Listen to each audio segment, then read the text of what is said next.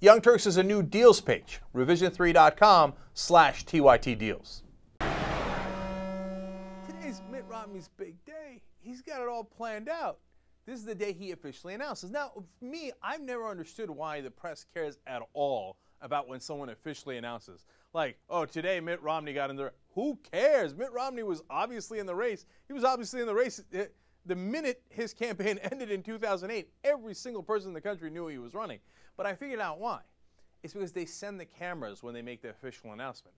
And if the news cameras have already been sent, that's why it's a big day. So Romney's got it all figured out, and you know he's got the the folks lined up. He's got a white barn in the background. He's got an American flag. Kids are saying the Pledge of Allegiance. He's handing out food to folks. He's and this stuff they plan for months. You know they're so careful about this stuff.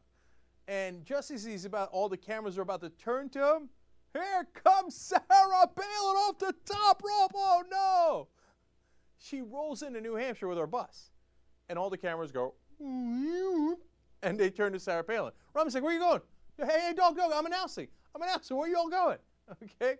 So Sarah Palin not only says, "Oh, what a coincidence! We happen to be in New Hampshire on the same day." You kidding me? Coincidence? coincidence. That ain't no coincidence.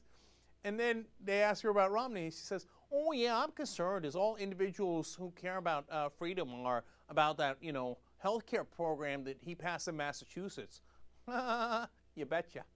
Oh, she lays down the hammer. Look, for regular folks, okay, she said that in passing, whatever. No, for political people and the analysts and the reporters and the pundits, they're like, oh my God, Sarah Palin attacks Mitt Romney. So now all the stories about Palin. Meanwhile, Romney's trying to get attention, and the Tea Party hates him, right? And there's news story after news story about how Tea Party's main mission is to make sure Romney's not the candidate, right? So he comes out with what he considers to be a fire breathing speech. And he says, Barack Obama has failed America. Okay, all right, I, I know, I know. Total failure, and you rock, and you're a rock star, etc. Like he's trying to be all Tea Party, like he's a failure. I hate Obama. You think you hate Obama? I hate him ten times more. And then he said, um, quote, we are only inches away from ceasing to be a free market economy. Oh, come on, man. Who are you kidding? Inches away from ceasing to be a free market economy. Because President Obama is, what, too tough on business? Too tough on Wall Street? What kind of a joke are you? You know that's not true. He's trying to get the Tea Party people riled up. You see that? Oh, yeah. Obama's a socialist, right? Oh, he, he doesn't believe in the free market. He's a failure. Am I good? Did I do good? Did I do good? No, you didn't do good. You didn't do well. So, you know Romney's flip flops. He's on every, almost every single issue on abortion. You know he supported the stimulus originally? Now he says it's, of course, a disaster and, and it was terrible and Obama's failure. Uh, you know he supported the bailouts originally. Now he says bailouts are atrocious and unbelievable, et cetera, et cetera. Uh, you want to talk about almost every single issue, the auto bailouts. He was, oh, disaster, travesty, et cetera. Now he says it was his idea. That's un- unbearable but not just for progressives or independents, but also for Republicans. But he is still leading in the polls. He's got a lot of name recognition, he's got a lot of money, big money's behind Romney, so it's going to be fun to see how this thing turns out. But I'll tell you what, today, for the first time, I thought, hey, you know what? Sarah Palin might actually be running. Because all the pundits are like, oh no, she hasn't talked to any of the GOP operatives and she hasn't gotten the endorsements of local, state, and city council people in Iowa and New Hampshire. I'm like, what are you talking about? It's Sarah Palin. She doesn't give a damn about that. You know how she always says she's a maverick? And it's a facade and ridiculous in so many ways. But when it comes to, you know, the political campaigns that she's been doing, you got to give her credit. She is a maverick in that sense, right? She's like, yeah, yeah, your endorsements. You go ahead and you take it and you know what to do with it. Oh, me follow regulations and rules about how to run the campaign.